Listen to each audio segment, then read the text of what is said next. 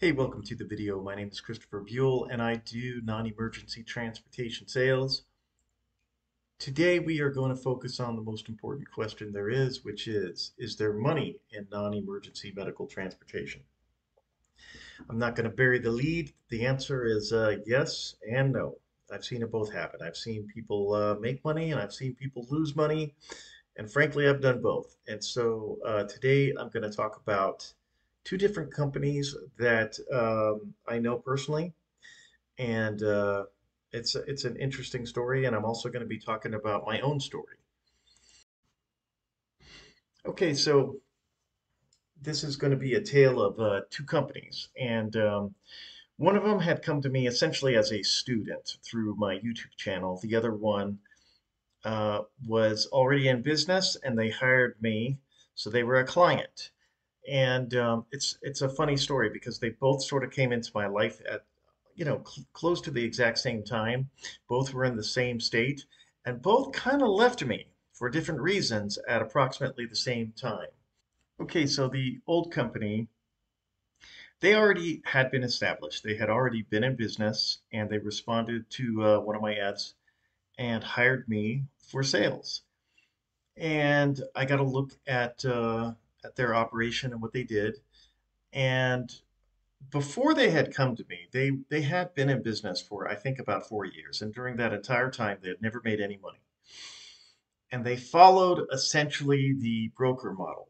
And a lot of people that want to do non-emergency transportation also want to do the broker model. They just think, you know what, the service is terrible. So I know there's an opportunity there.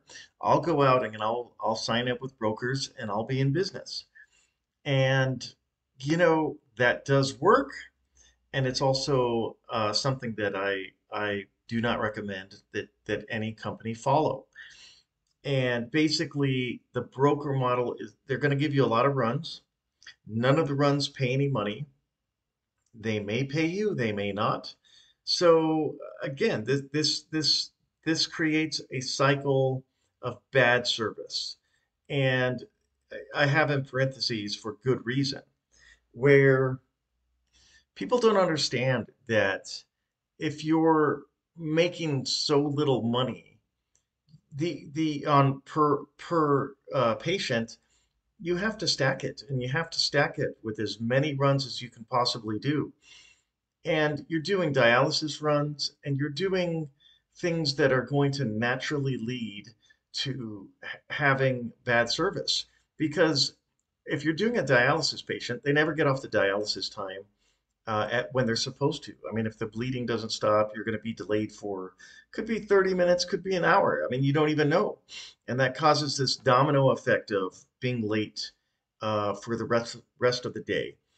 And um, this company had hired me to do uh, sales to get them some private pay business.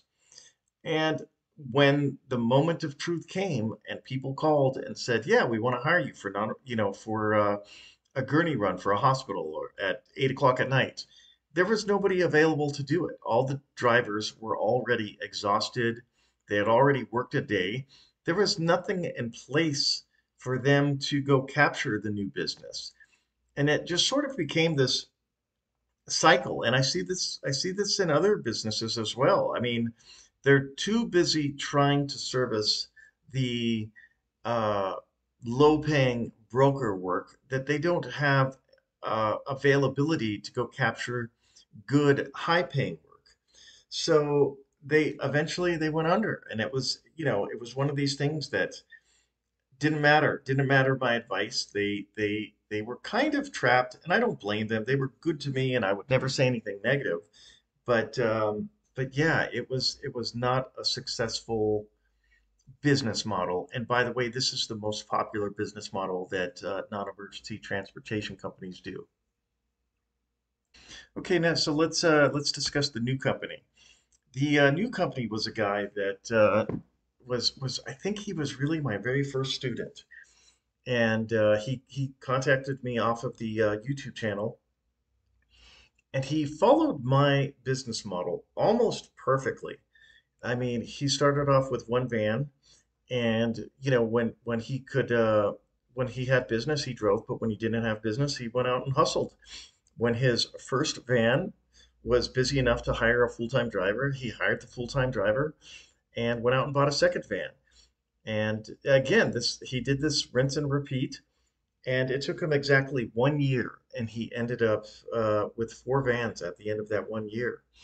And uh, you know, it's so funny because I have a little note here that says less is more, and he he showed me like I have uh, I have a four hour window where I essentially you know keep keep a guy available and I pay him to sit there and you know I, I don't remember the exact number but maybe 20% of the time uh, he he completely lost the money. He paid a guy to sit there for no reason. But the other 80% of the time uh, he had a guy available for uh, for hospital work and for you know last minute opportunity work. And he showed me that it was something along the lines of twenty thousand dollars. I I want to say it was twenty three thousand dollars he had made in like one quarter, keeping keeping the guy available there for uh, to capture those those hospital discharges. And uh, again, it was it was very closely aligned with the way my business model worked. And you know, my business model and this guy's business model, they do have drawbacks, and I'm happy I'm happy to discuss them. You know, it's uh you don't say no. You're available when when somebody needs you. That if that's at two in the morning or eight o'clock at night or whenever, you do it. But I think it's a, a much more profitable model. And speaking of me, the honest to God truth is that I never felt like uh, I had money. And um, it's a funny thing just because the way the business sort of takes over, you always have to have in the back of your head money like set aside to, you know, replace something serious. I mean, there's always repairs and there's always another van I have to buy. And, you know, the business, it really takes you over when you're doing well. Um, and, and you, you spend your time, you know, again, managing the business, dealing with the uh, vehicles, dealing with the driver calling in sick, having to do collections. And you're doing all these things that kind of take away uh, from sales and growing the business.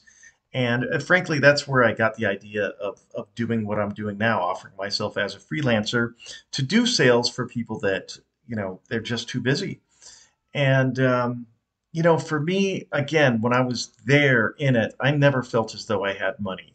The money always came at the end. So with my first company, I had sold it for something like $250,000. And this is probably going back, I really don't even know if it's 10 years, if it's 15 years, it's going back a, a, a minute. But it was a tremendous amount of money uh, today. I mean, and so, yeah, back then it was a lot of money.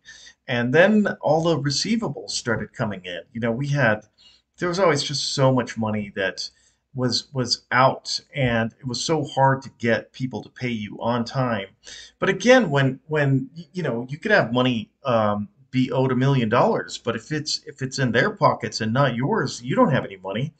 So in my personal case uh, i never felt as though i had money until i sold the business.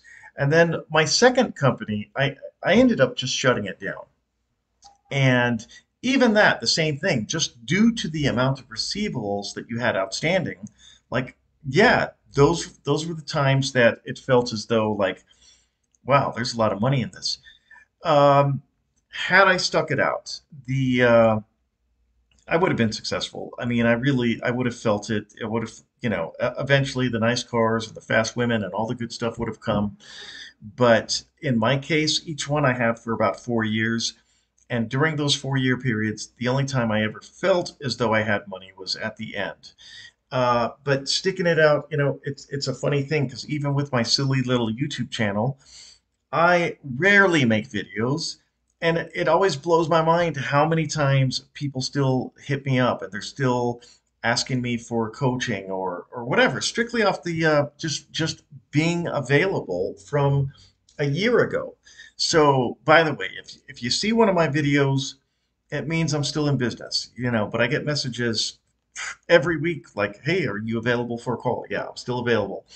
I still have my uh, my my uh, uh, website up. There's uh, a lot of different things available here. Keep in mind, I don't know if I'll ever get it fixed. It takes something ridiculous, like five to seven minutes to load. I might be exaggerating, but whatever. If you click on it, it's going to take a minute for it to uh, populate. I don't I don't know how to correct that, but um, yeah, like I always say, drive fast, take chances. We'll see you next time.